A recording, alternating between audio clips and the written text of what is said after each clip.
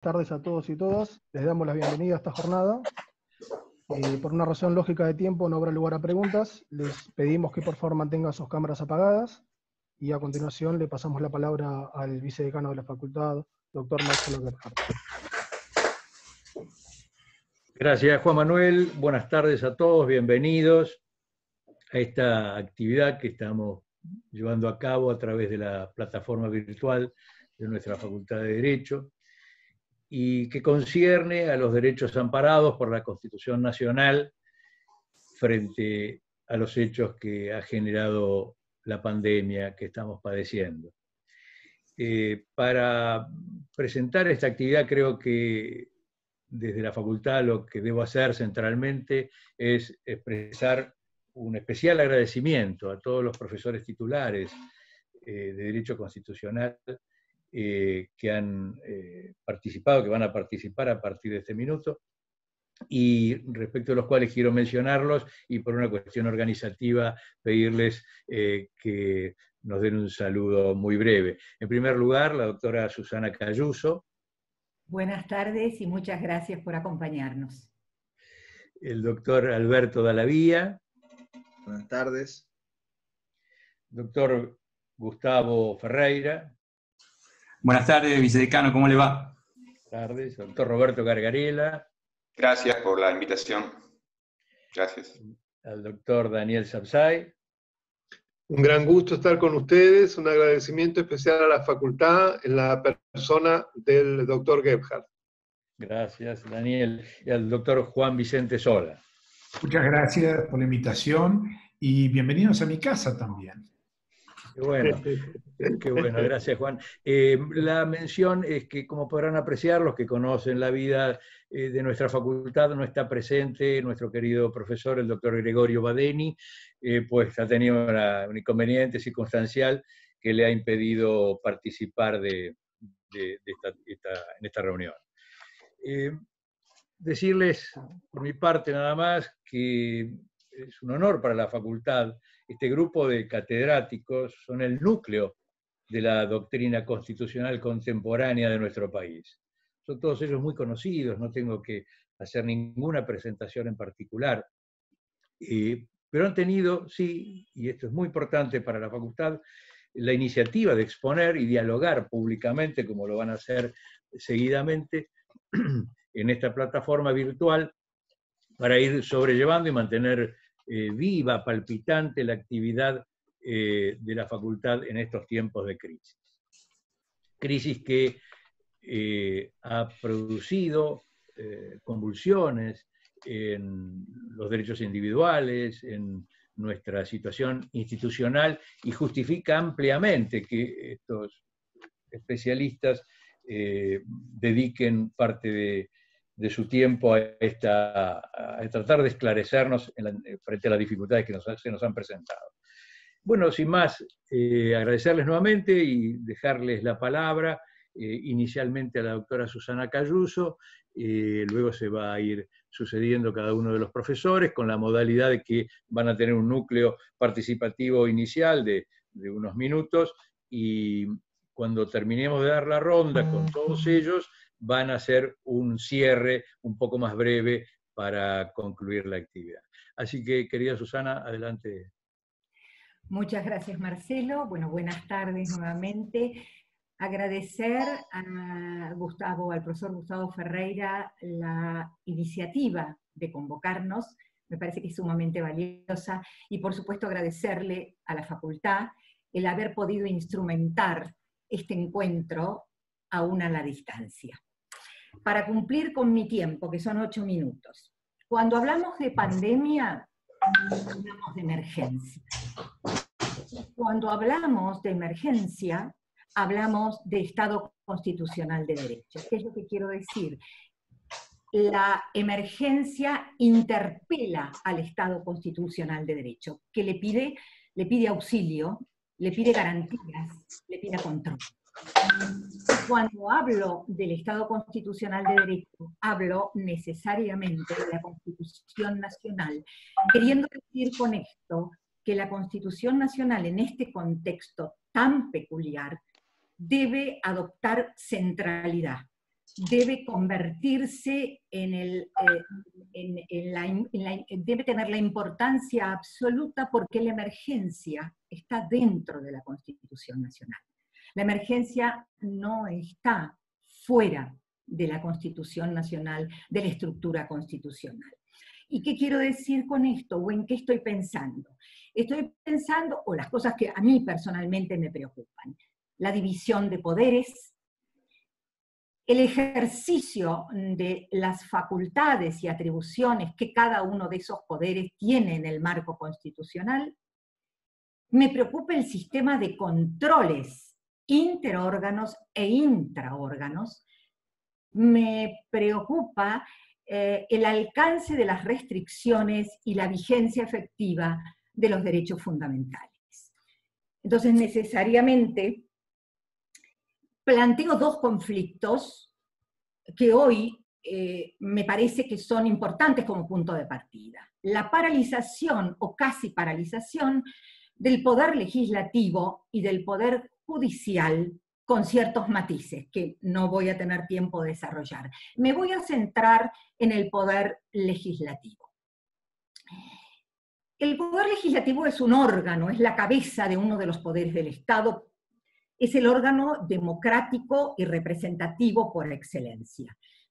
Es absolutamente autónomo en el marco de sus facultades y atribuciones constitucionales para instrumentar lo que sea necesario para cumplir con los fines que el propio mandato constitucional le indica. No necesita de otro poder para hacerlo. Esto eh, eh, significa que buscando en la Constitución Nacional, podemos encontrar algunas pistas que nos indican que una interpretación dinámica y auténtica va en este sentido. Podríamos hablar del artículo 63 en su obligación de sesionar todos los años.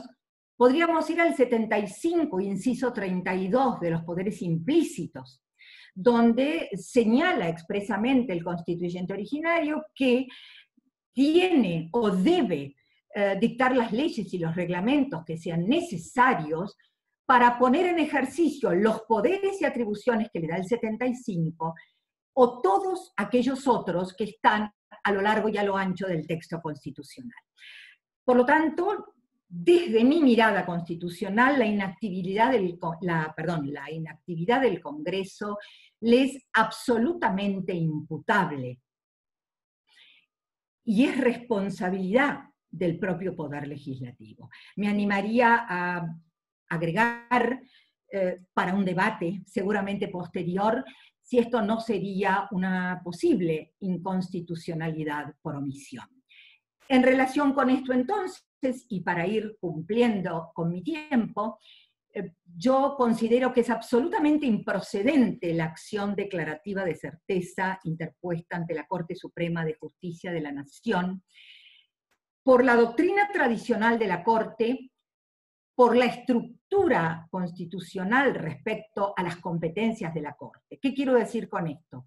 Zona de reserva de cada uno de los poderes no es un supuesto de competencia originaria contemplado por el constituyente originario, y además diríamos que desde lo procesal constitucional, la acción meramente declarativa de certeza no reúne, en este caso y en este contexto, ninguno de los requisitos que tradicionalmente y jurídicamente le ha asignado la Corte ¿Qué quiero decir con esto? La Corte ha dicho que no corresponde esta acción para hacer consultas, que se requiere un caso concreto y que además debe haber un eh, agravio actual inminente.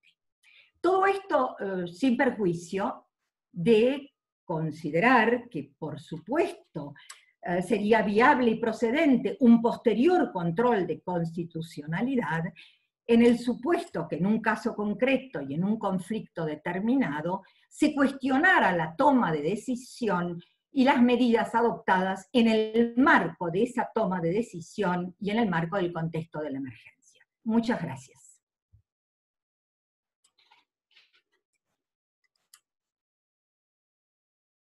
Muchas gracias, doctora Susana Cayuso. Le pasamos la palabra al profesor Alberto Dalavía.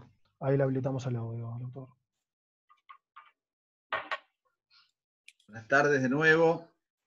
Eh, para un país que vivió siempre en emergencia, donde la normalidad y la normalidad constitucional han sido la regla, una de las cuestiones que, que se nos plantean es que esta vez la emergencia es en serio.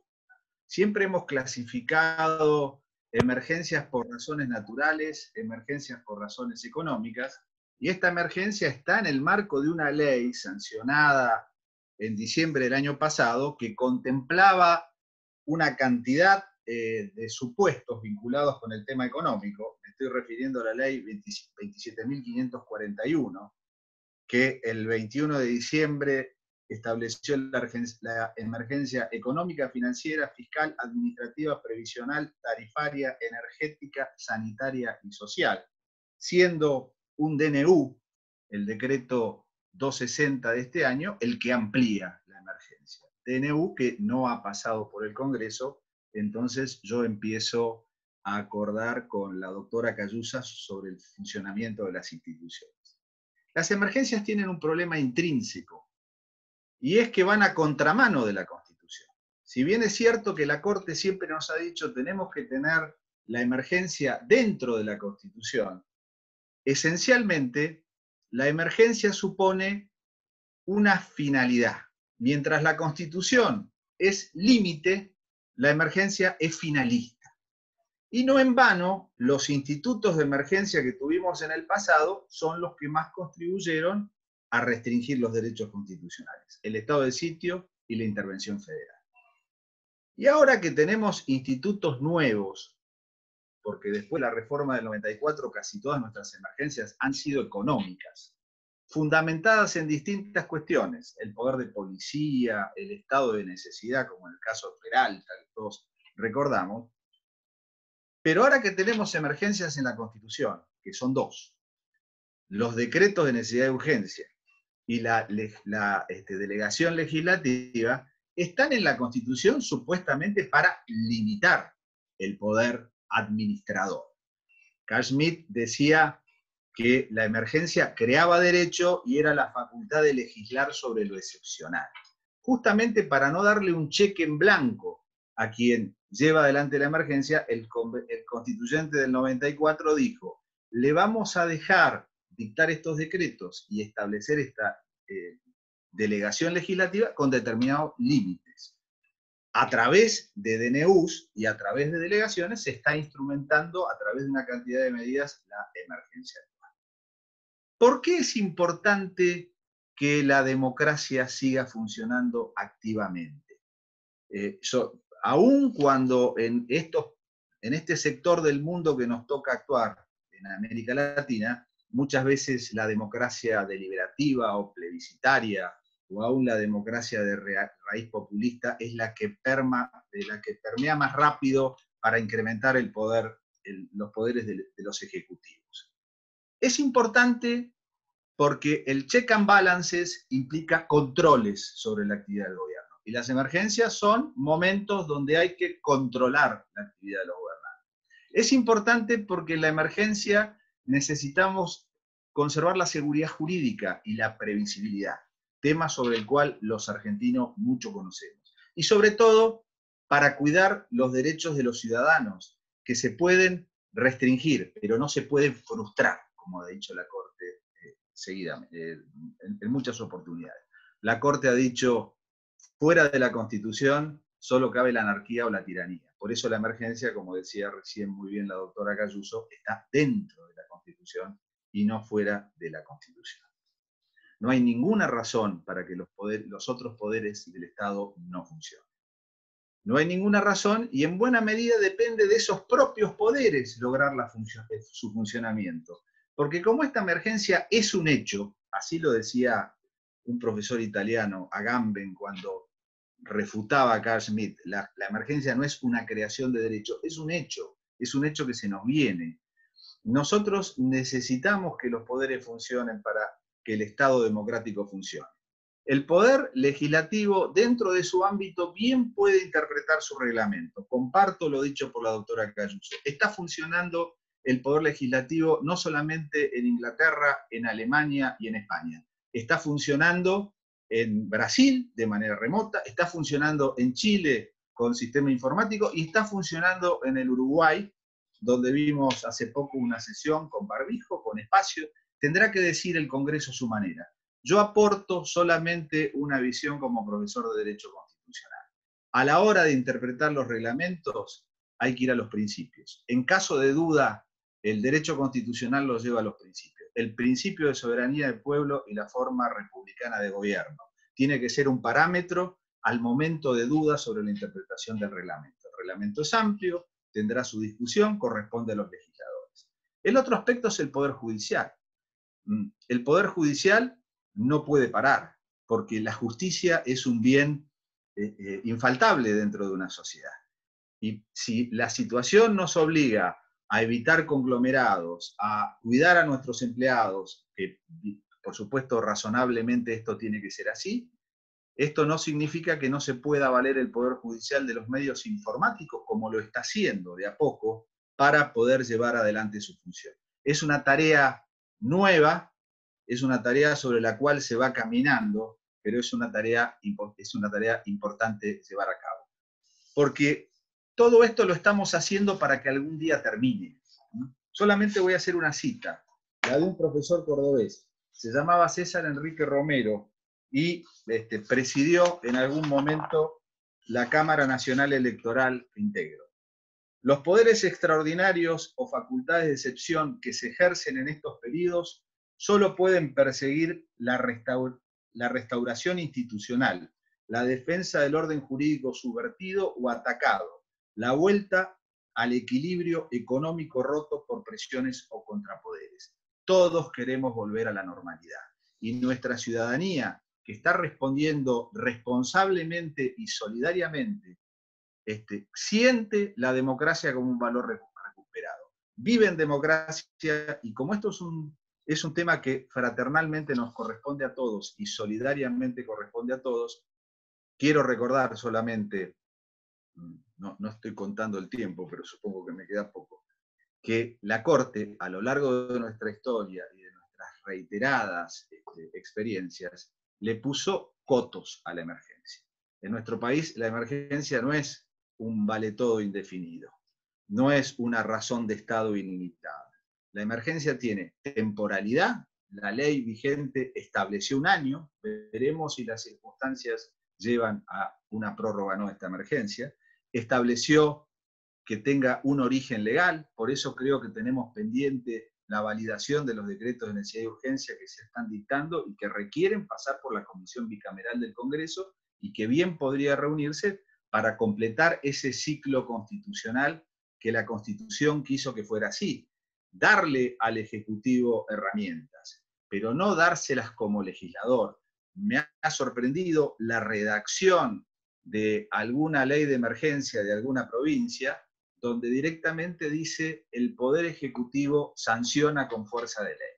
Después, en la parte final, el texto dice, esta ley deberá ser sometida a su este, convalidación por el este, legislativo. Tal vez, parezca una cuestión meramente semántica, pero no es meramente semántica, tiene que ver con la idea que tenemos en una democracia. ¿Dónde descansa el principio de soberanía del? Sigue descansando en la participación ciudadana, tanto en el poder legislativo como otra vez en el poder judicial sobre la defensa de las minorías. Y esto es un valor que nosotros tenemos que preservar. También la Corte ha dicho que debe haber razonabilidad en la actuación de este, los órganos durante la emergencia. Tiene que haber razonabilidad, tiene que haber una adecuada proporción entre las medidas que se toman y la restricción de esos derechos. Creo que todo esto es importante tenerlo en cuenta porque de esta manera nosotros colaboramos como nación con la Constitución, con el mantenimiento de la Constitución como proyecto subjetivo de vida en común. Muchas gracias. Muchas gracias, profesor de la Vía. Le pasamos la palabra al profesor Raúl Gustavo Ferreira. Ya le habilito el audio.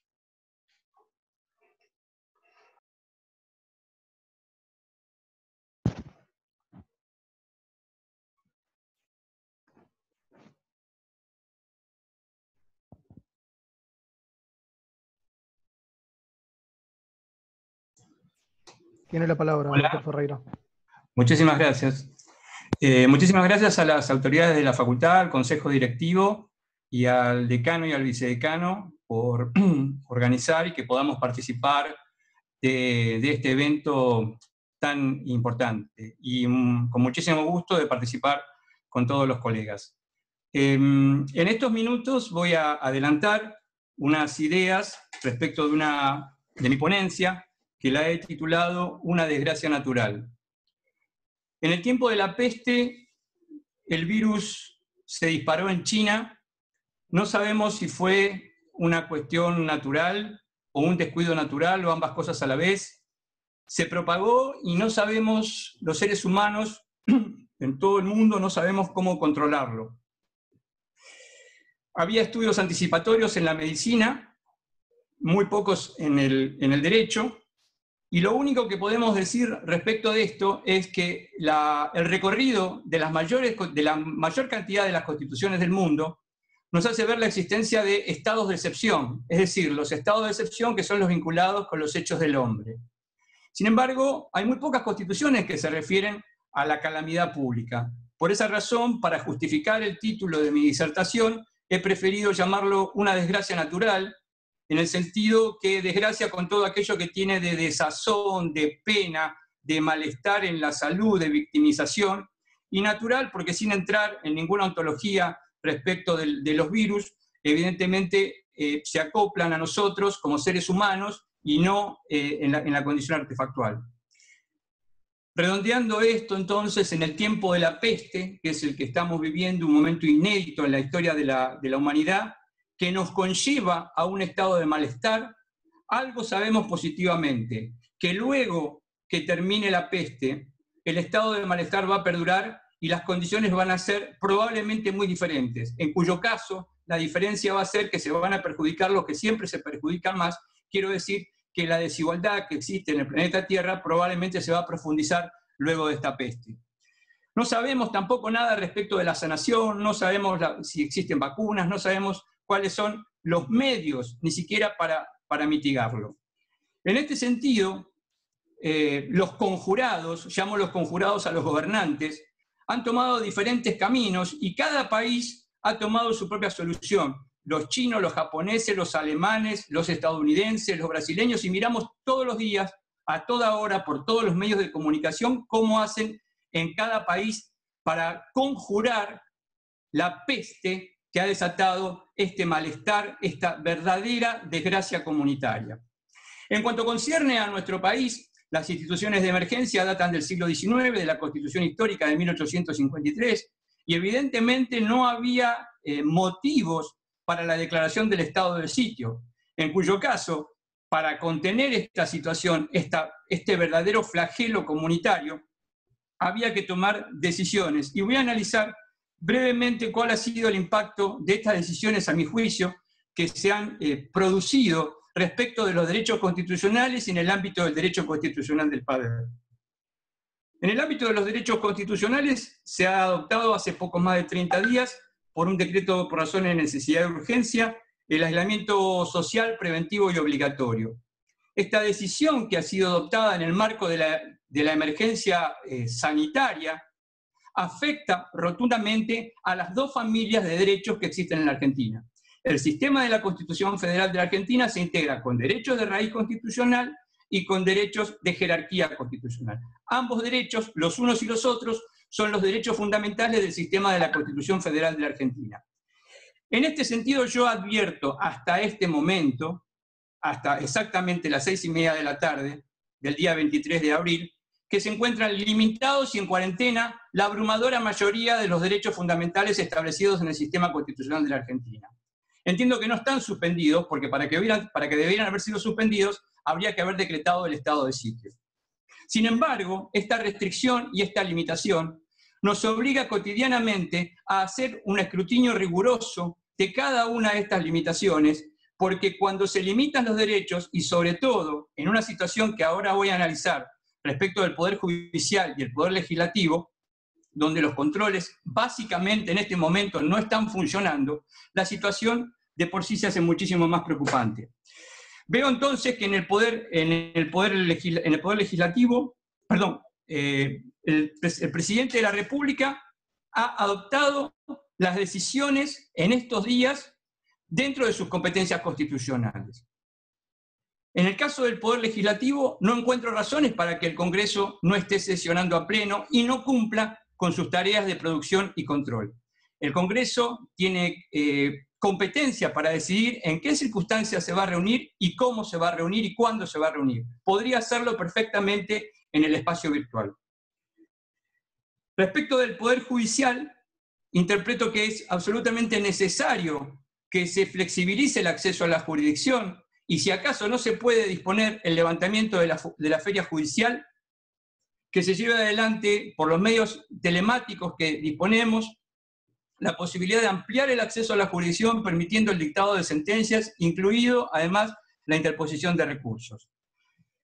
Para ir cerrando entonces con este, con este panorama de la desgracia natural que nos ha provocado el COVID-19, cierro diciendo que en el año 2020 estábamos a tres o cuatro o cinco años de la expectativa de la singularidad. Es decir, esperábamos el momento en que la inteligencia artificial iba a, ser equivalente a la inteligencia humana.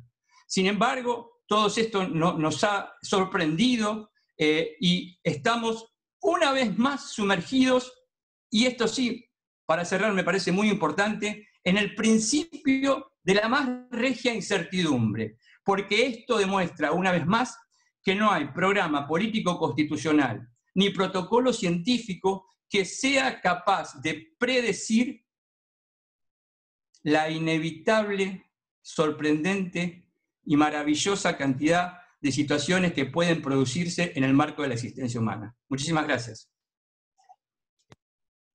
Muchas gracias, profesor Ferreira. Le pasamos la palabra al profesor Roberto Gargarela. Gracias. Gracias. Eh, bueno, había infinidad de cuestiones gravísimas que, atender. Me voy a concentrar en dos puntos. Eh, los dos son demasiado serios y requería mucho más tiempo. Los voy a tratar muy rápidamente. primero es eh, vinculado con cosas que se han dicho. Yo creo que estamos virtualmente en una situación de estado de sitio eh, puede ser que el presidente esté tomando decisiones mm, no irrazonables, pero eso no quita que estamos en una situación de eh, ilegalidad eh, definida el estado de sitio por la concentración de poderes en el Ejecutivo, por la restricción severísima de derechos fundamentales y por la presencia, la sobrepresencia de las fuerzas policiales de seguridad en el espacio público. Ahora, eso no es solamente un problema formal, un problema de, digamos, de legalidad formal, sino que cuando decidimos de este modo, esto es, de modo concentrado, decidimos peor. Es en este tipo de momentos, en situaciones de emergencia, en donde más, no menos, necesitamos de escuchar voces diversas, voces críticas, voces de lo que eh, se sienten mal o maltratados o desatendidos por las decisiones que se toman. Entonces, no hay simplemente un problema, digamos, formal procedimental, sino que hay un problema sustantivo eh, que tiene que ver con el modo en que se están tomando las decisiones. En emergencia necesitamos decidir del modo contrario al que estamos decidiendo, no a las apuradas, improvisadamente y de modo concentrado. O sea que allí hay un problema, más allá de que acordemos o no con el fondo de las decisiones que, pueda tomar con buena voluntad el Poder Ejecutivo. Eh, el, segundo problema al que quería apuntar, al que quería tener un poquito más, simplemente por la, urgencia que tiene y la actualidad que tiene, eh, se vincula con, la consulta que ha hecho el Senado a la, Corte. Eh, sobre, sobre, el tema yo tengo una posición en un punto incómoda, digamos, yo me siento muy cómodo, pero, pero, pero es ríspida, entiendo, eh, porque considero que, que, la consulta es razonable, aun cuando sea innecesaria, porque los poderes legislativos, las dos cámaras, tienen la capacidad, por el artículo 63, por el artículo 66, tienen la capacidad de reunirse cuando, digamos, lo consideren necesario y del modo en que lo consideren necesario. Eh, creo que es una excusa, digamos, que se ha eh, presentado para no decidir sobre cuestiones candentes eh, cuando, y al mismo tiempo echarle la falta al poder de al lado, en este caso particularmente a la Corte Suprema. entonces, yo creo que la, decisión que se ha hecho de consultar es políticamente yo diría, preocupante, innecesaria y una excusa. Sin embargo, sin embargo, quisiera aprovechar para decir por qué, a pesar de eso, eh, y contra lo que dicen colegas con los que suelo coincidir, digamos, eh, yo creo que hay algo de razonable, y, hay algo de razonable para mí desde una mirada conversacional o dialógica, que es el modo en que yo entiendo, digamos, la democracia. Se han dicho, y hay, hay muchos argumentos, y algunos se han presentado, de por qué no a la consulta. Una es, digamos, no hay caso concreto. Bueno, no hay caso concreto, a, la, Corte le compete por el artículo 116 la intervención en todas las causas que rijan sobre puntos vinculados con la Constitución. Este es claramente una causa. Uno podría decir, ah, no, pero solamente puede intervenir por apelación. No, para, por apelación, digamos, para decidir un caso, un conflicto.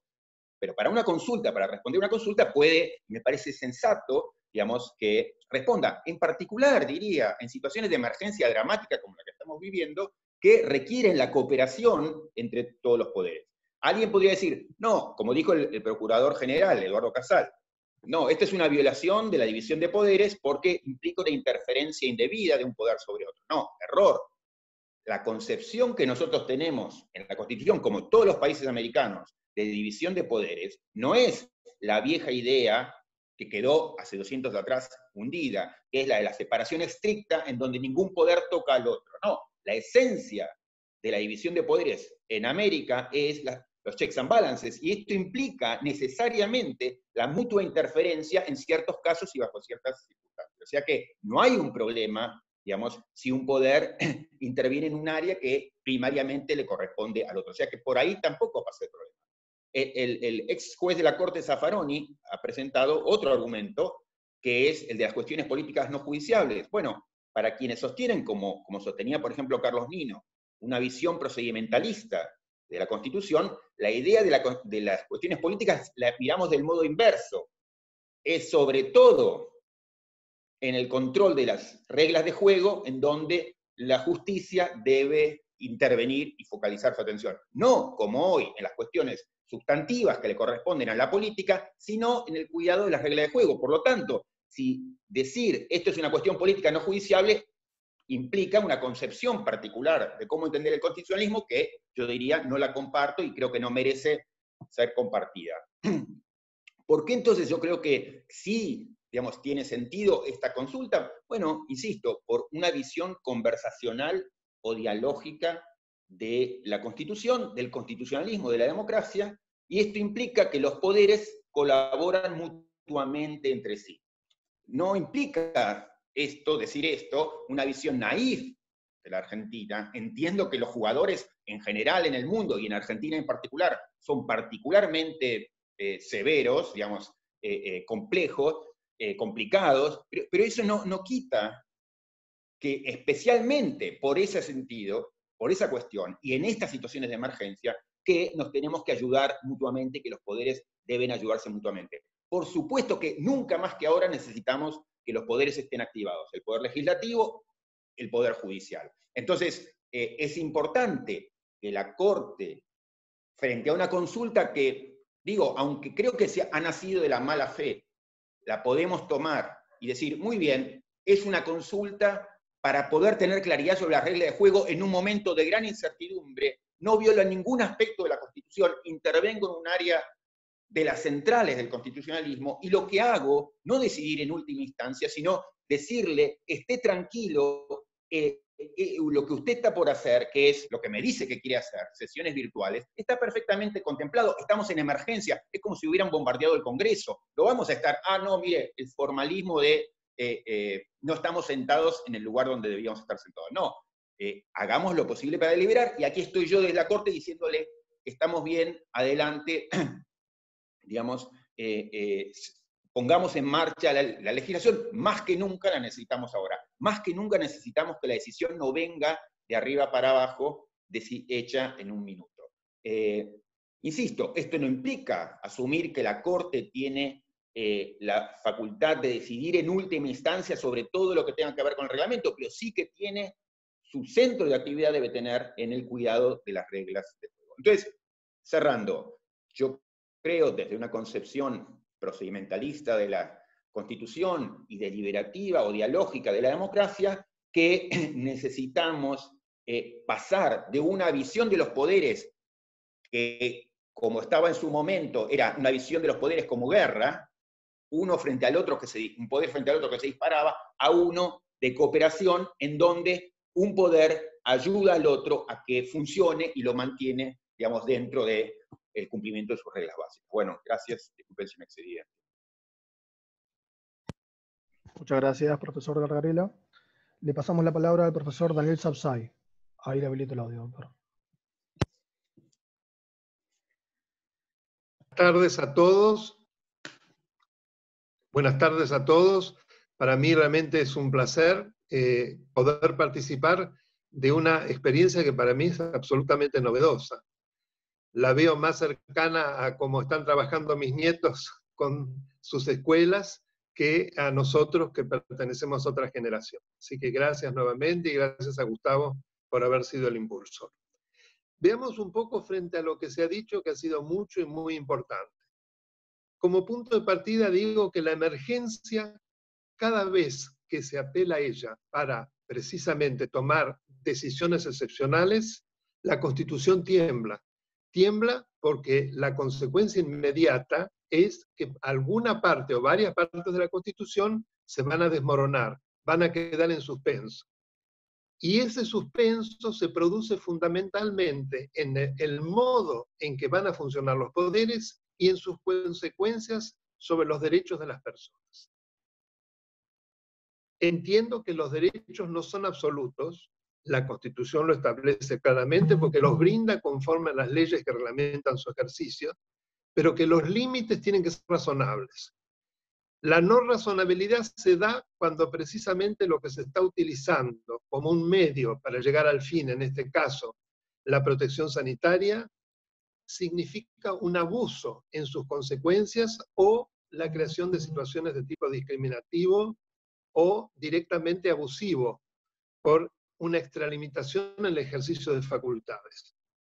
En la actualidad, yo creo que el punto de partida con el dictado del primer decreto de necesidad de urgencia fue tal vez la primera situación del dictado de decreto de necesidad de urgencia que se ajusta al marco constitucional que como principio general prohíbe el dictado de este tipo de instrumentos por parte del presidente. ¿Por qué? Porque se trataron efectivamente de circunstancias excepcionales que impedían el procedimiento normal para el tratamiento de leyes. Y además fue una situación que se le impuso al, a quien debía decidir, que en este caso es el presidente. No fue algo que se suscitó a partir de una necesidad de, del gobernante, que es lo que generalmente o casi siempre ocurre en la Argentina. Es decir, hay una creación que es instrumental al que gobierna de emergencias que no son reales. Entonces, eso me pareció totalmente justificado. A partir de allí son 20 decretos de urgencia que ya se han eh, dictado. Es decir, una cantidad inmensa. Desde el 83 nunca hemos visto en un plazo tan corto el dictado de semejante cantidad de decretos. Es decir, el, un presidente que legisla y un poder legislativo que se autolimita, no se sabe muy bien por qué. Coincido con lo que, me lo que han dicho sobre el particular, quienes me precedieron en el uso de la palabra, pero quiero agregar algo que me parece fundamental. En emergencia, eso debe servir para que todos los poderes del Estado encuentren los instrumentos para proteger los derechos y para cumplir con sus funciones, no para protegerse a través de barreras meramente procedimentales y no cumplir con la función eh, sustancial que deben llevar a cabo y para la cual se los ha elegido designado, me refiero a elegido a los legisladores y designado a los magistrados. ¿Por qué? Porque en la emergencia los controles deben vigorizarse. ¿Por qué? Porque se le está dando algo excepcional a el presidente, que es tomar facultades legislativas. Le está sustrayendo algo al Congreso. Eso debe venir correlativamente con controles que permiten compensar ese desequilibrio. ¿Cuál es el control? Por ejemplo, hoy la Comisión Bicameral de Seguimiento del Congreso, que es la que debe ratificar o rechazar los decretos, analizarlos, no, no se está reuniendo. Con lo cual son 20 decretos de urgencia que están en el limbo, es decir, una situación prácticamente monárquica. Y tampoco en la aplicación de toda esta normativa de emergencia tenemos un poder judicial que nos proteja y que ponga límites en los casos en que las personas se puedan amparar frente a situaciones arbitrarias. Es decir, estamos en un gobierno unipersonal. Esto debe cesar, porque si no cesa, nos vamos eh, internando en un sistema autoritario y no democrático. Yo confío absolutamente en los remedios que nos posibilita la democracia, el Estado de Derecho. Creo que los sistemas autoritarios, autoritarios y autocráticos no solo pisotean derechos, sino que siempre o casi siempre resultan ser ineficaces. Autoritarismo y eficacia no va de la mano. La democracia, en cambio, permite la deliberación, es decir, la búsqueda de, soluciones, de normativas que son elaboradas conjuntamente, no impuestas desde el deseo del príncipe, de aquel que gobierna.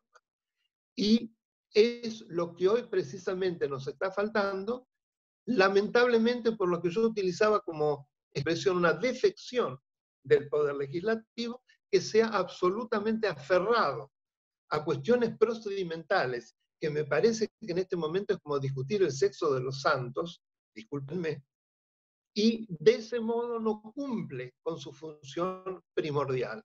Resulta que los médicos, los servidores públicos de todos los servicios esenciales, para no seguir con también comerciantes y demás que deben asegurar la cadena alimentaria, etcétera, allí no se encuentra ningún tipo de pretexto para que estas personas continúen exponiéndose, claro que es una exposición, pero la exposición es producto del lugar donde yo me paré en la vida. Y máxime si se me ha encomendado una función básica para que el Estado de Derecho funcione y para que los derechos sean respetados.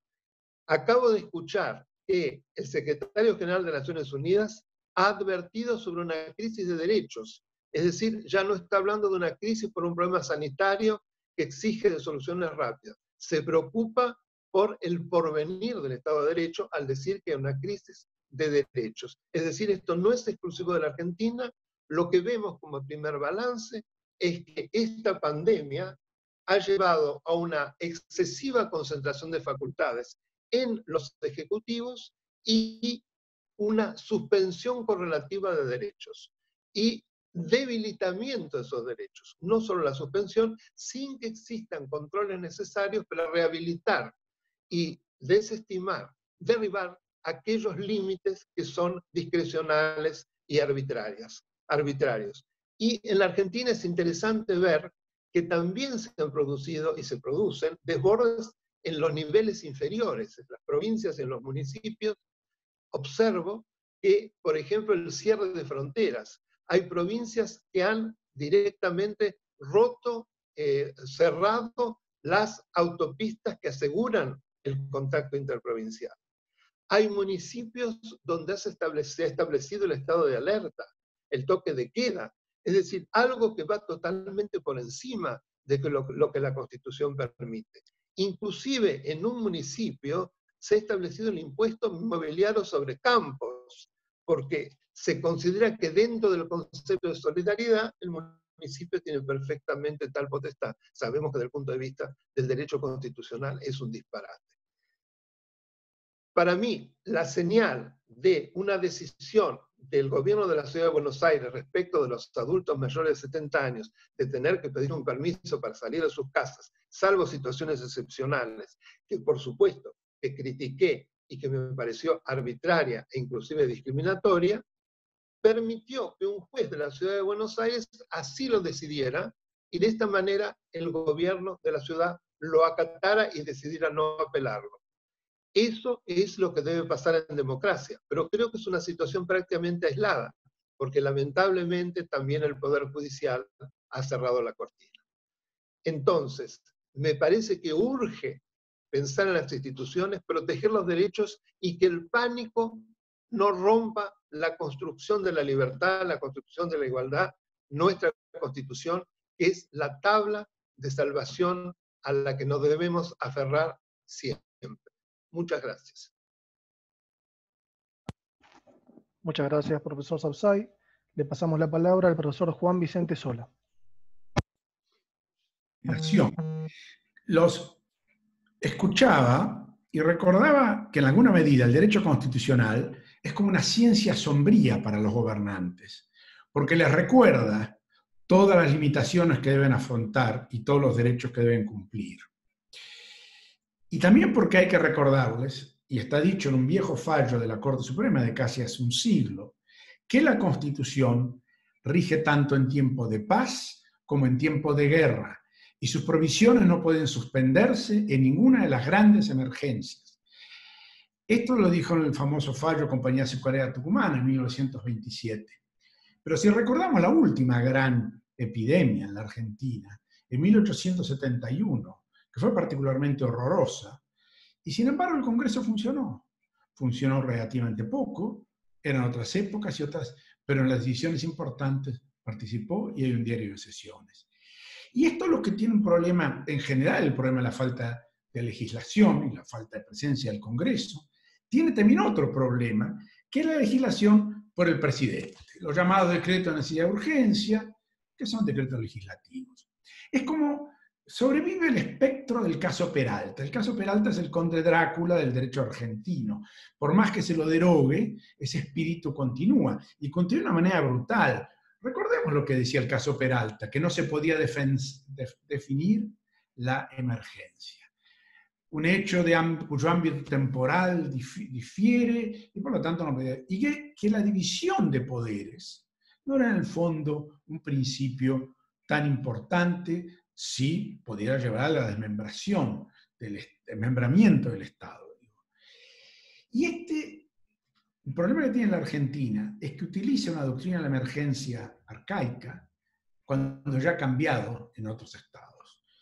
Si en la Gran Depresión la Corte Suprema de Estados Unidos tuvo una cierta generosidad con el legislativo y con el ejecutivo, de alguna manera en la creencia que el ejecutivo y el legislativo saben más en momentos de emergencia, esa doctrina se abandonó. Puedo citar varios casos, pero el más conocido quizás sea el famoso caso de las acerías. El caso de las acerías ocurrió en la guerra de Corea, es decir, una guerra internacional no declarada, pero que tuvo más muertos que la Segunda Guerra Mundial.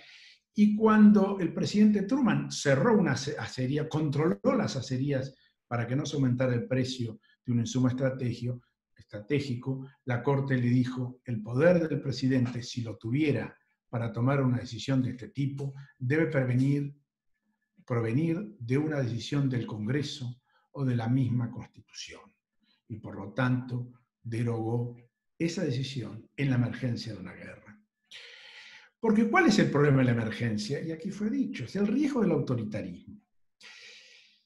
En general, los doctrinarios autoritarios, los que creen en sistemas no democráticos, utilizan el concepto de emergencia para consolidar el poder único o el poder autoritario.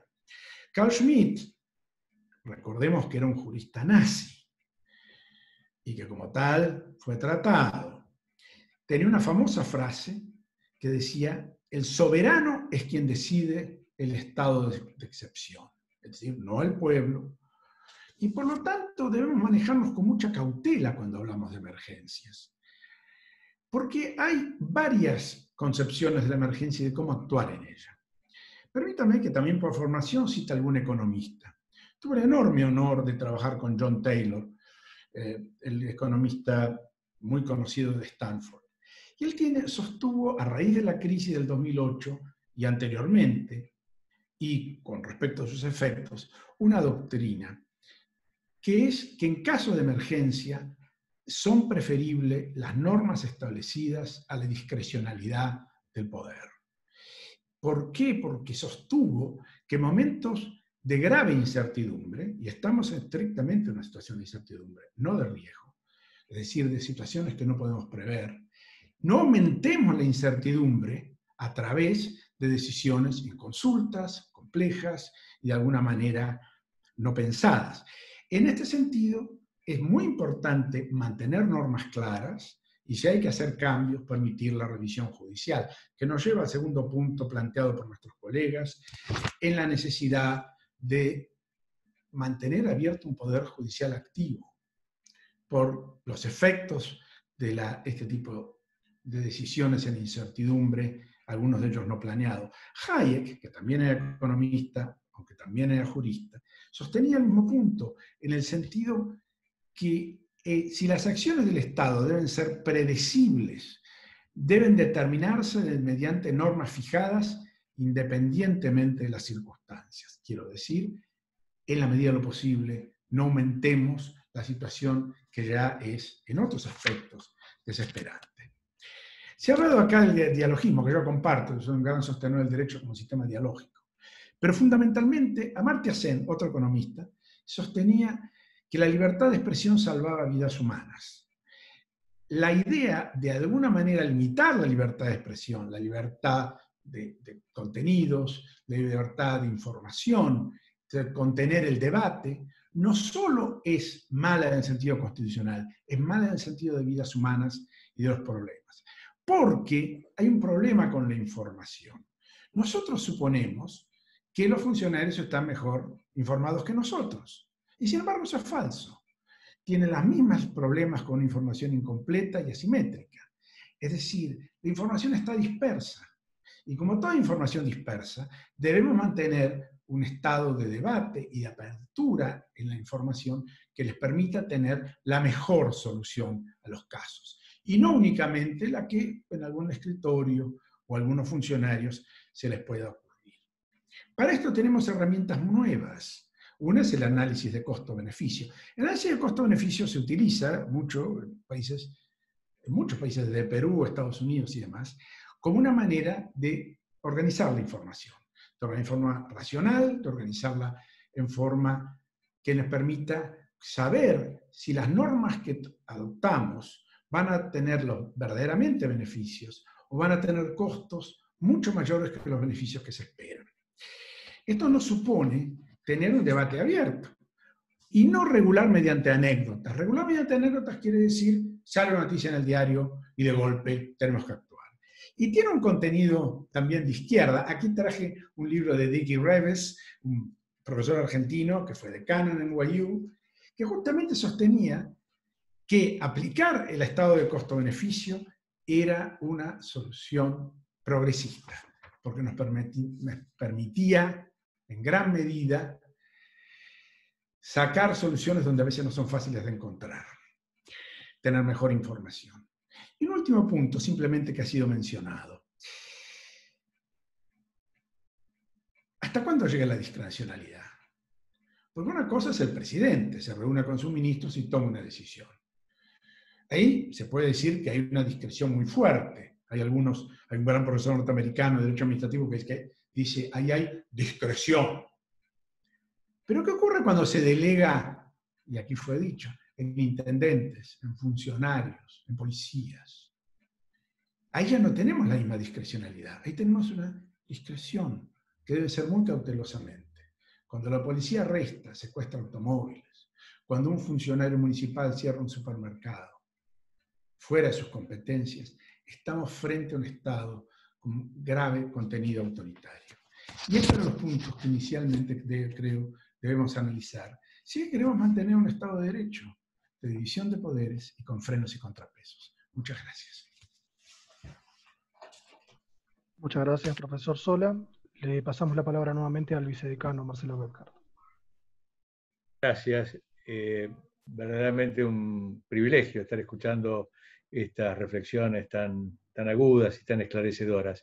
Eh, pasamos ahora a mm, la segunda parte del, eh, de la charla, en la cual cada uno de los profesores va a tener unos tres minutos para eventualmente responder alguna de las reflexiones de los colegas. Eh, esta vez vamos a empezar con el doctor Dalavía, para después terminar con la doctora Cayuso, en homenaje a la única mujer que nos acompaña. Muchas gracias. Muchas gracias, vicedecano. Eh, a mí me alegra mucho la coincidencia que tenemos los profesores de Derecho Constitucional en este panel, sobre todo por el tema que fue motivo de la convocatoria de la que nos llamó Gustavo, que en el afiche tiene al Congreso y al Palacio de Justicia. Eh, me alegra que eh, de alguna manera los seis profesores de Derecho Constitucional demos un mensaje desde la cátedra en este sentido. Yo no dudaba de ese mensaje. Somos profesores de Derecho Constitucional, defendemos la Constitución y queremos que los tres poderes del Estado funcionen. Yo en la primera parte recordé a César Enrique Romero, el segundo presidente de la Cámara Electoral. Ahora quiero recordar a un jurista que se llamaba Carl Friedrich, que enseñó en la Universidad de Heidelberg, este, y que decía, las dificultades de la división de poderes son grandes, pero los resultados de su concentración son desastrosos. A mí me parece que esto eh, es el mensaje que nosotros queremos eh, dar desde acá. Sabemos que la emergencia es grave, sabemos que es compleja, sabemos que como este, Carl Schmitt en su justificación del derecho a la emergencia explicaba, porque en, algunas cosas se fundamentaba, a veces las leyes son muy complejas, a veces las leyes requieren este, un, debate que en la velocidad de las medidas no se pueden tomar y por eso el Ejecutivo va más rápido. Pero eso no significa renunciar al control, eso no significa re, re, renunciar al debate marco y eso mucho menos significa renunciar a que siempre haya un juez que pueda escuchar la petición de un derecho. Por eso me alegraron esas coincidencias. Yo tengo una sola disidencia con Roberto Gargarela, este, que me animo a plantearla porque como, va, como él va a tener el uso de la palabra después, me puede refutar después todo lo que él este, quiera, además, eh, por el respeto que nos tenemos y porque hace muchos años que nos conocemos eh, a mí me parece que no es el momento adecuado para romper con la ortodoxia jurídica entre los poderes. En un momento en que estamos eh, reclamando el cumplimiento del derecho como fuente, si bien sé que en el pensamiento de Roberto siempre hay una concepción deliberativa y más abierta de la democracia, pero la Corte Suprema tiene una doctrina y tiene una doctrina que ha formado a través de los años, y esa doctrina además está hecha en las leyes de la República. La primer ley de la República que estableció la competencia de la justicia federal fue la ley 27. Y la ley 27 dice que los jueces y tribunales solamente intervenimos en casos, causas y controversias. Tiene que haber un caso, porque si los jueces no interviniéramos en casos, seríamos como los legisladores. Eh, sé que el doctor Gargarela es uno de los, este, que, de los autores quien siempre plantea la cuestión contramayoritaria o el debate mayoritario sobre el Poder Judicial. Justamente si el Poder Judicial es el poder no votado por el pueblo, el Poder Judicial es el menos legitimado para opiniones de carácter abiertas. A mí me parece que esto además se plantea dentro de la división de poderes en un tema donde un poder no necesita la opinión. Justamente porque dentro del legislativo la constitución le da a las cámaras la facultad de dictar su propio reglamento y regir su propia vida interna. Hay un, hay un ámbito autónomo de cada poder. Nosotros podemos discutir si el presidente puede, tener, puede excederse no en las facultades reglamentarias, pero no le disputamos el área autónoma dentro del Poder Ejecutivo. No le disputamos, por ejemplo, los, los nombramientos de los empleados administrativos. De, esa manera me parece que es el propio Congreso el que tiene que resolver de qué manera funciona. Y además me parece que el reglamento del Congreso, bueno, puede tener alguna ambigüedad en este punto, en el artículo 66, porque son situaciones no previstas. Las emergencias siempre caen sobre situaciones no previstas, pero no creo que necesiten ir a la Corte para resolver una cuestión de. Lo pueden resolver en su interior, lo pueden resolver en una comisión de labor, lo pueden resolver interpretándolo. Eh, quería plantear que en esto, diciendo, además me animo a hacerlo porque a pesar de que soy juez, no soy juez de la Corte, entonces no, no me van a recusar por opinar esto, y mucho menos desde la libertad de cátedra. Este, por lo demás, creo que eh, uno no tiene que subestimar la complejidad de la crisis. Es una emergencia en serio, lo dijimos al principio, recién lo resaltaba el doctor Sapsay, este, también lo resaltó Gustavo Ferreira, es una emergencia grave y, nosotros acompañamos solidariamente desde el pueblo argentino las medidas. Lo que esperamos es que estas medidas tengan un tiempo, lo que esperamos es que sean razonables, lo que esperamos es que sean ordenadas. Y creemos que el consenso sobre las medidas, lejos de dificultarlo, va a, ayudar a que estas decisiones sean menos cerradas y sean más fuertes. Eh, creo Le que damos la palabra, eh, doctor Dalavía, al doctor Gararera, ¿me parece? Me parece muy bien. Muchas gracias. Gracias. Roberto, adelante. Perdón, perdón, doctor, creo que tiene la palabra el doctor Ferreira o sigue Gargarela. Y en esta ocasión creo que Gargarela ha sido. Ah, por, ok, le pasamos. Gracias. Disculpen. Hola. bueno, en, principio también celebro las coincidencias muy importantes que tenemos eh, en relación con, la emergencia y con los riesgos enormes que implica la concentración del poder. Eh, pues es importante eso, reafirmar que en emergencia queremos, necesitamos decisiones más abiertas y que escuchen a voces más diferentes. Muchos de los malos, las malas decisiones que se han tomado, desde lo que fue el Viernes Negro hasta el ciberpatrullaje, hasta los abusos en sobreprecios, tienen que ver con eso, con eh, muy pocas personas, muy poco controladas, tomando decisiones. O sea que en eso es muy importante que, digamos que coincidamos en eh, afirmar derechos constitucionales y criticar la concentración de poder. Sobre el otro, sí, creo que disentimos y es importante el disenso. La, única cosa, un par de cosas que diría al respecto. Uno, eh, uno puede tener una posición crítica sobre lo que se llama la dificultad contramayoritaria, el carácter contramayoritario del Poder Judicial y seguir diciendo lo que yo señalaba. ¿Por qué? Porque el problema es si el Poder Judicial sobre cuestiones sustantivas, como por ejemplo el establecimiento de un impuesto, como el establecimiento de un plan económico, digamos, le quita el lugar al legislativo. Ahí aparece el problema de cuál es la legitimidad democrática del Poder Judicial. Sin embargo, si lo que hace el Poder Judicial es cuidar que, como el árbitro de fútbol, que los jugadores puedan jugar el partido de acuerdo con las reglas, eso forma parte perfecto de sus competencias. Entonces no, está, no hay ninguna innovación, más allá de que esto tenga que ver con una práctica histórica o no. Entonces, si se concentra en el reglamento como el árbitro del fútbol, haciendo que los jugadores jueguen, allí no hay ningún problema. El problema es si dice que hay gol cuando no hay gol o cuando quiere el juez interferir con el resultado del juego, pero, pero lo otro no. Y lo mismo con la idea de la división de poderes y frenos y contrapesos.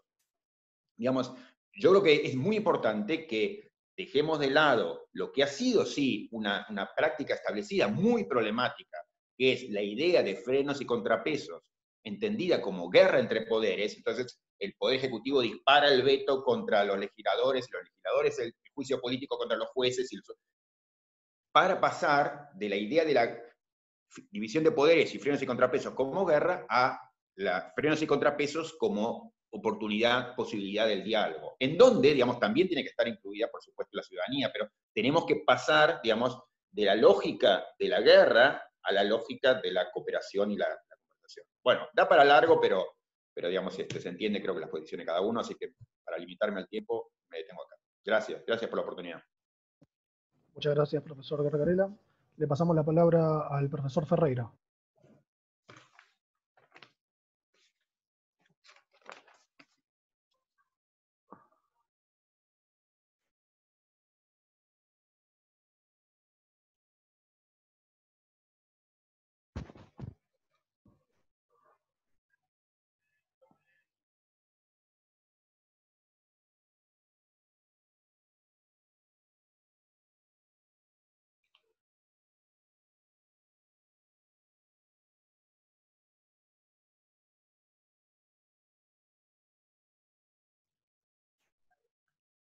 Estamos teniendo un problema que no está tomando el audio del doctor Ferreira. Espéreme, doctor. ¿Ahora? Ahí está, ahí está, doctor, discúlpeme. Tardaba el sistema en tomarlo. Puede hablar. No me, no tomo nada. Perfecto. Ahora, por favor, empiece de nuevo. empezamos el conteo perfecto. nuevo. Perfecto, perfecto. Vamos a empezar de nuevo. Eh, quería mandarle un saludo muy cordial en nombre de todos los profesores a Gregorio Badeni. Y en segundo lugar, en esta segunda intervención, agradecerle a todos los profesores la colaboración directa que han tenido eh, para esta actividad, que es una tarea pionera que hacemos en el ámbito de la Facultad de Derecho. Quiero referirme a tres puntos de manera muy, muy sucinta y muy breve. Eh, me ocupé de calificar a la situación como una desgracia natural desde la comprensión que no se trata de un hecho social, porque la única posibilidad que hay dentro de la Constitución Federal de la Argentina de decretar el estado de sitio es precisamente por hechos sociales que están descritos ahí, que hackean a las autoridades creadas por la Constitución. Dado que no se ha eh, verificado ninguna de esas circunstancias, esta desgracia natural debe ser atendida de la manera que tenemos dentro del ordenamiento jurídico constitucional. Entiendo y comparto la idea de que los derechos, y lo dije en mi exposición, que la mayoría de los derechos se encuentran severamente limitados, duramente restringidos, pero que eso no implica hasta el momento la suspensión del núcleo duro de ninguno de los derechos fundamentales de raíz o de jerarquía constitucional de la Argentina. Dicho esto, me quiero referir a una cuestión vinculada con la tarea del presidente de la República. El presidente de la República, antes que se cumpliesen los, los primeros 100 días de su gestión, se encontró con un problema, con una calamidad, con un desastre natural que realmente no tiene, teníamos que remontarnos al siglo XIX para encontrar una, una circunstancia semejante. Dije en esa circunstancia, y vuelvo a repetir ahora, que a mi juicio hasta el momento, la totalidad de las decisiones que ha tomado el presidente de la República han sido adoptadas en el marco, dentro de las cuatro esquinas fijadas por la Constitución Federal de la Argentina. Señalado esto, me quiero referir a lo del Congreso, y no es una cuestión menor, porque dije también en mi intervención anterior que el Congreso tiene dos tareas principales, la producción y el control. Y todos sabemos, y es bueno recordarlo en este momento, que en los últimos 14 años el Congreso Federal de la, República Argentina no ha controlado, ningún, no ha rechazado ninguno de los decretos por razones de necesidad de urgencia que se dictaron. Entonces las posibilidades, las expectativas que nosotros tenemos respecto del control no están tanto cifrados en el presidente de la República, sino en la tarea que hace el Congreso. Congreso que vuelvo a repetir, que tiene todas las, competencias constitucionales para reunirse, porque así lo decide el propio artículo 63 de la Constitución, cuando dice que ambas cámaras se reunirán por sí mismas. O sea que eh, más allá de la bondad que puede portar una consulta a otro poder, no me parece necesario porque es una competencia privativa del órgano congresual decidir si quiere o no quiere llevar adelante sesiones en el espacio virtual. Respecto al Poder Judicial, creo que se ha dicho prácticamente todo, y yo, para decir, no encuentro razones para justificar que se encuentre tan restringido el acceso a la jurisdicción. Por eso pedí una ampliación notoria. Y para terminar, quiero parafrasear a Anatole France y con una ironía importante. El aislamiento social preventivo y obligatorio prohíbe igualmente a ricos y pobres mendigar y robar pan. Nos obliga a los ricos los pobres, con toda ironía, a quedarse en sus casas y a dormir debajo de los puentes. Muchas gracias. Muchas gracias, profesor Ferreira. Le pasamos la palabra al doctor Daniel Sapsay. De colofón, me parece que lo fundamental es volver a las bases del derecho constitucional y a una constitución que para mí es como una suerte de rezo laico. ¿Qué quiero decir con esto? Que siempre que pienso en las grandes garantías institucionales que nos da el Estado de Derecho, me remonto necesariamente a Montesquieu. Y pienso en esa frase tan extraordinaria de quien creó y dio, inventó el principio de separación de poderes, es necesario por la fuerza de las cosas que el poder detenga al poder y entonces organizó un sistema de frenos y contrapesos en donde a la competencia de cada uno de los poderes se le agregó un plus que tiene que ver con la, el control, la fiscalización de los otros dos poderes y así sucesivamente. Esto es algo que debe necesariamente sobrevivir a cualquier vicisitud. Por supuesto, dentro de los límites de la excepcionalidad, que siempre que se den esos hechos, le permiten al presidente tomar facultades que en tiempos normales no tiene, pero siempre pensando en que tiene que ser esa potestad controlada. Yo coincido con el doctor Ferreira que el presidente hasta ahora no se ha sobrelimitado. Él ha tratado de atender las circunstancias que se han presentado. El problema, vuelvo a la palabra defección, ha sido la defección del Congreso absolutamente injustificable. Yo ayer escuchaba a un legislador español explicando por qué ellos se reúnen y también el Parlamento Europeo, que es un parlamento supranacional, y él hablaba precisamente del principio de representación de la soberanía del pueblo, de los que hablaba el doctor Dalavía, que no podían hacer de otro modo, sobre todo en momentos de emergencia cuando se esperaba más de ellos, porque deben aportar soluciones a los problemas, aunque con una dinámica y de un modo distinto a la del presidente, la emergencia no sustituye a los otros poderes. Yo creo que esto es algo fundamental, la no sustitución de un poder por otro a pesar de que haya emergencia. Porque no olvidemos que cada vez que el, eh, eh, constituyente reformador del 94 concedió potestades excepcionales de carácter legislativo al presidente, estableció como principio fundamental que eso está prohibido. En caso de duda está la prohibición, no la habilitación para hacer lo que normalmente no se puede. Y se repite tanto en materia de decretos de necesidad urgencia como en decretos delegados, como en promulgación parcial de leyes.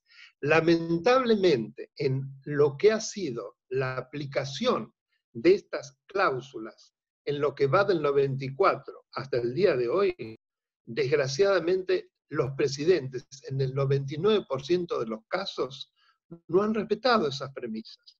Es decir, se han aferrado al dictado de este tipo de facultades o inclusive el Congreso les ha concedido renunciando a facultades propias inconstitucionalmente por un motivo de conveniencia del que gobierna, no para proteger una emergencia a o en aras del bienestar de todos.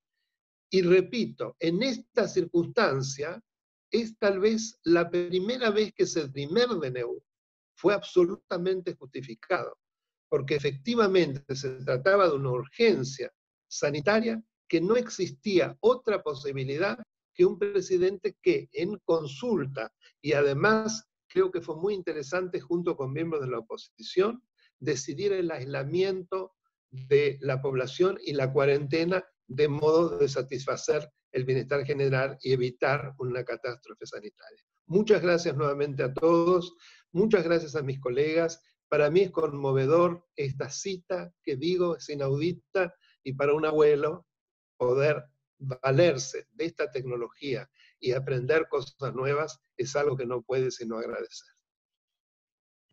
Gracias, profesor Sapsay. Le pasamos la palabra al profesor Juan Vicente Sola.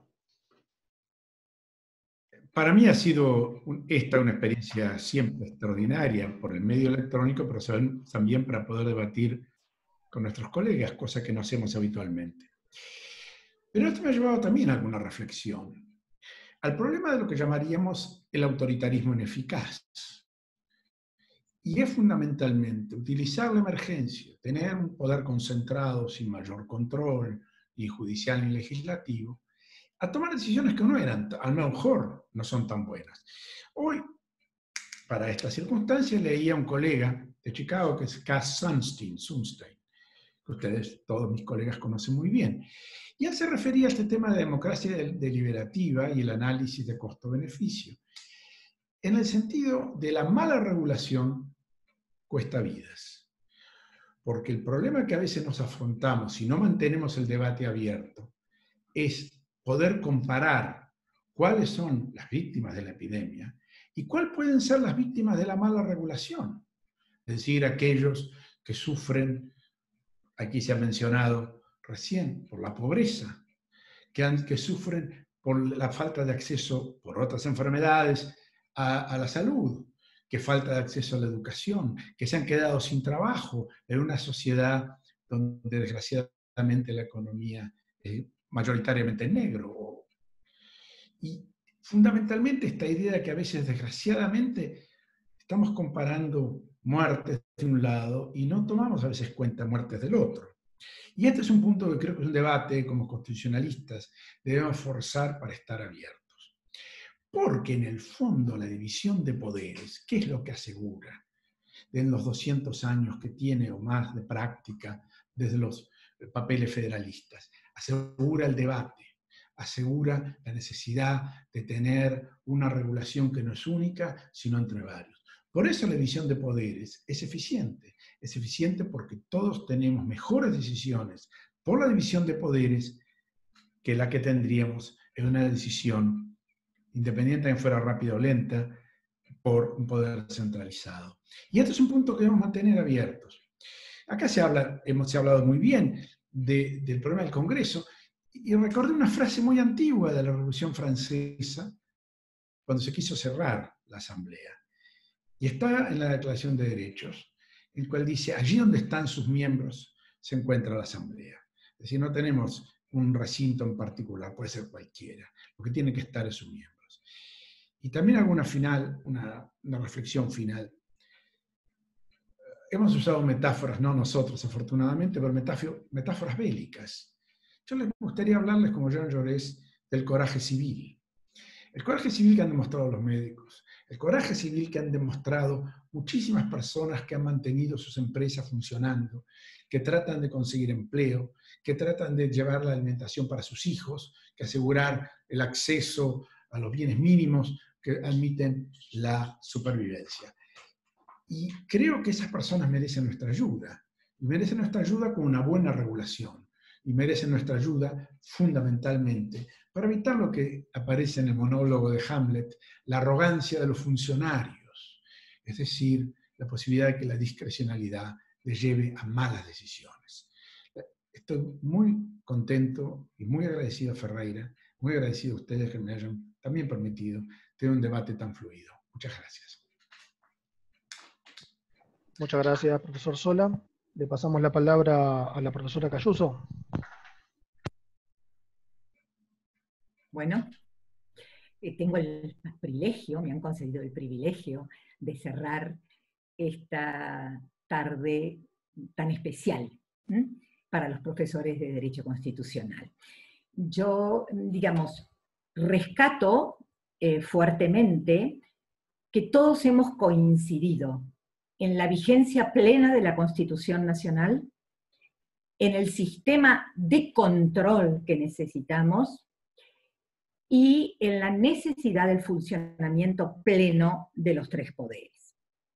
Volviendo al, Congreso, y porque en algún momento se mencionó, tanto por Alberto Dalavía como por Juan Sola, el propio reglamento, si bien no tiene una frase que habilite una comunicación vía Zoom o virtual, tiene eh, en relación con los lugares donde se realizan las sesiones, que normalmente es el recinto, utiliza o plasma excepciones como son la fuerza mayor, la excepcionalidad o situaciones graves.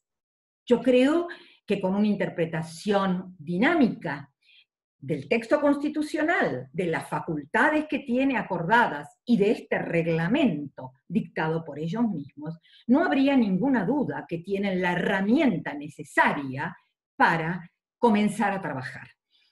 Es cierto, como decía Gustavo, que el Congreso de la Nación yo creo que está con una deuda seria para el Estado constitucional de derecho, por lo menos en la Argentina.